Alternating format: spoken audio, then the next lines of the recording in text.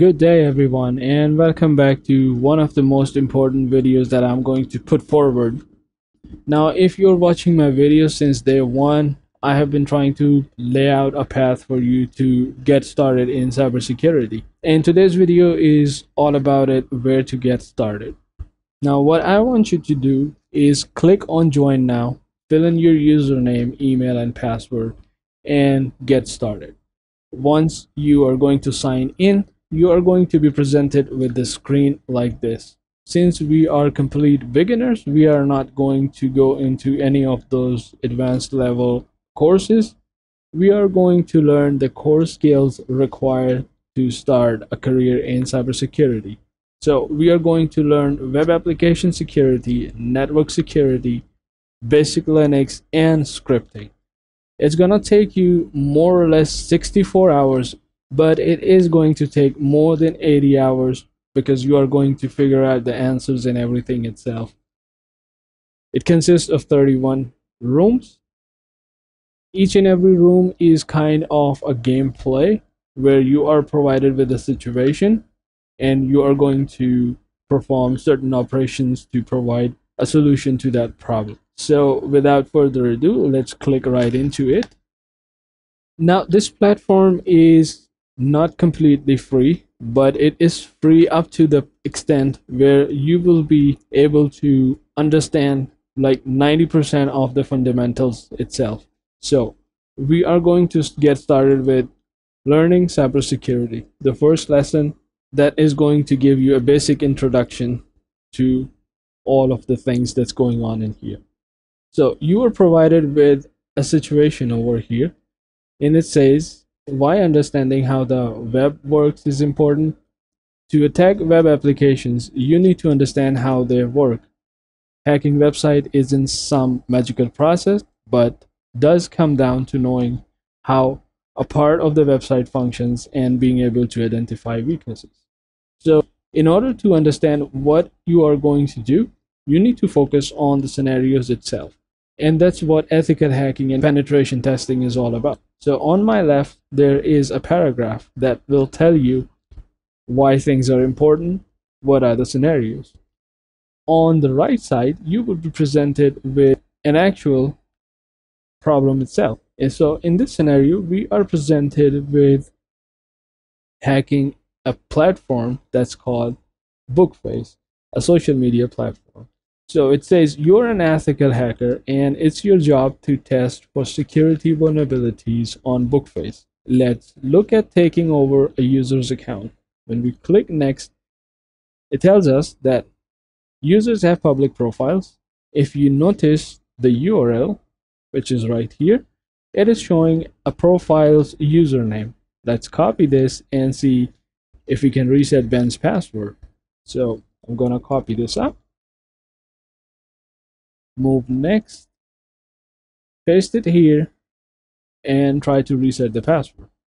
So it says we have sent you an email with a four digit code but we do not have that email. What do we do? Let's try to go next. There are 10,000 different combinations of codes that we can enter. We could try increasing them one by one starting with 0001 and then 0002 and we can keep going on. That will take forever. Try inputting any random reset code. Let's say I want to put it 6654 submit. When you submitted a code in the form your web browser made a web request shown below to bookface with the relevant form data. And what we see down here is completely bringing up our disappointment right because the code that we have submitted is not correct. And most importantly we do not have access to the email address of this user. So what we are going to do now? So i'm going to go a bit down here and i'm going to see that we have posted a password reset request from our browser to bookface.com and our reset code was 6654 with the username ben.spring well let me click over here to see what's going on. Type of web request options can get get, post, delete. That's what we have seen right here, post. And part of the web request that tells the web server we are using a Google Chrome. That's what I said. And telling the web server we want the website bookface.com. The data we sending to the web server separated by this ampersand symbol or simply you can call it and but in a programming language it's called ampersand this is the code you entered 6654 and done. So we are going to click on next and we are going to we're going to figure out what else we can do. So it is not going to be possible to manually guess every code. So let's repeat the code web request we sent earlier and each time increase the code value automating the process using request repeater below. Now, if you look into Kali Linux and go to Burp Suite, this is the work of Burp Suite. But let's see how we are going to do it right here. The process of trying different combinations until one is correct is called brute forcing, a common attack in cybersecurity. Use the brute force tool with a code minimum 1 and maximum 10,000 value. So we're going to say 1 and maximum 10,000. So instead of providing us with a burp suite at this point, they have built-in web request repeater. But if you're going to perform same operations, same kind of operations in real life, you would need burp suite to use the repeater or the request repeater to brute force these kind of entries. Now I was going to make a video about it. I had a machine that I I did it. Probably I'm going to post it later. So as you can see, it's brute forcing every single code over here and I found out that the reset code was 0187. So let's try here 0187 and it says that 0187 is correct. So when I click on reset password, this was a real-world attack that before it was patched lets you take over anyone's Instagram account. Now you can see this example was taken from Instagram itself. That was a problem. That was the vulnerability in Instagram itself. The hacker that found it reported it to Instagram and received $10,000 as a reward. It is important for you to understand how web applications work. Once you have a good understanding of the web, TryHackMe will teach you about new cyber attacks and tools. So you can follow these tutorials. And once you are done, you come back to your left side. Now, some of these statements doesn't need any answer. So you just need to click, I have already done it here. So it says question done what is the username of the bookface account you will be taking over so I was supposed to go. So I was supposed to provide this information as we were going but anyways I'm going to click submit. Ending with a curly bracket. So the password has been reset. The answer to try hack me task is THM brute forcing. So I am going to copy it up and paste it here. Now, if I wouldn't be explaining each and everything, it would just take me a few minutes to go through these, right? So that's why I want you to go through each and every of those exercises. These are not going to be so much difficult, but it is going to teach you something that you will never forget because these exercises are based on real life scenarios and you are going to find it completely useful. So now we are going to get started with our task number two. Click on view site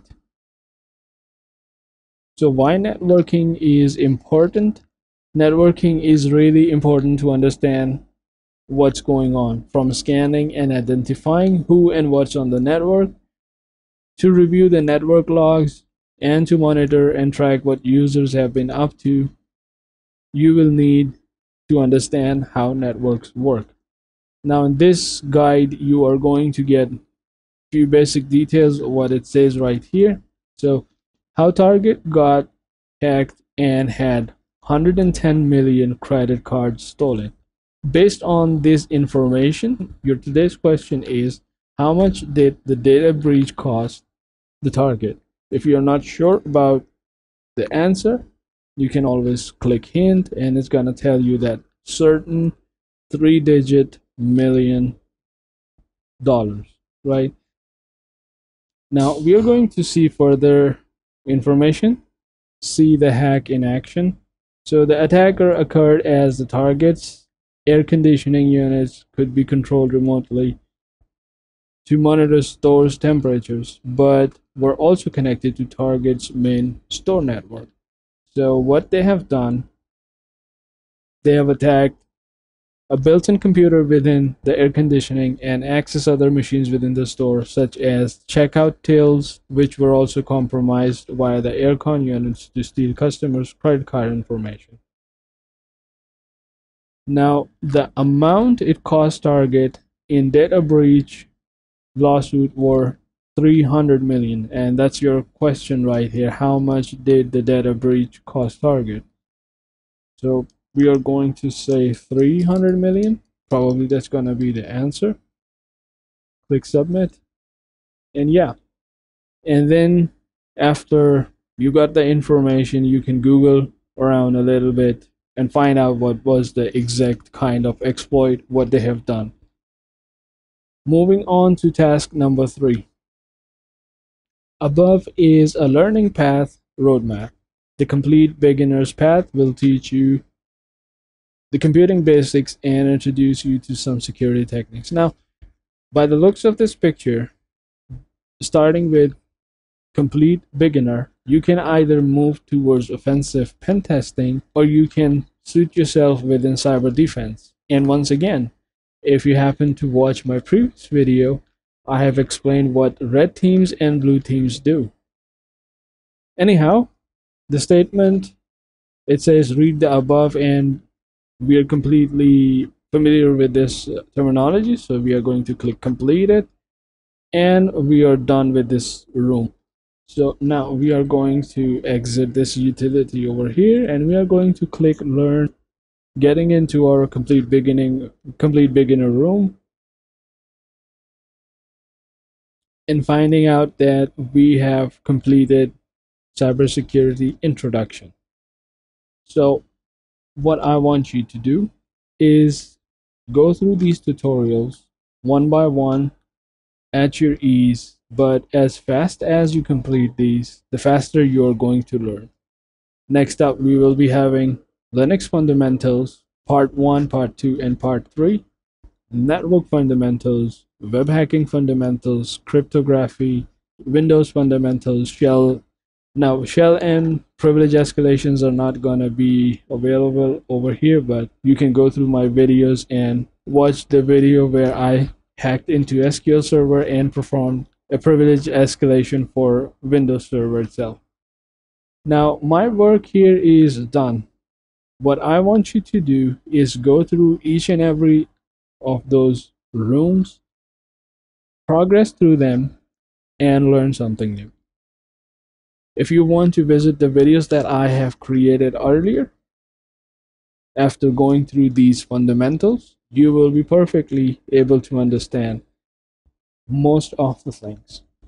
But there's always a learning path ahead us, so always stay curious and keep learning. Goodbye.